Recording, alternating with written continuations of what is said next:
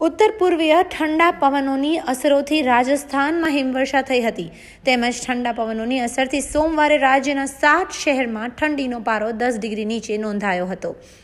કચ્છ, ઉત્તર, મધ્ય ગુજરાત અને દક્ષિણ ગુજરાતમાં ઠંડીમાં વધારો થતાં લોકોએ દિવસે પણ ઠંડીનો અનુભવ કર્યો હતો. પરંતુ ત્રીસ જાન્યુઆરીથી ઠંડીમાં ક્રમશઃ ઘટાડો થશે.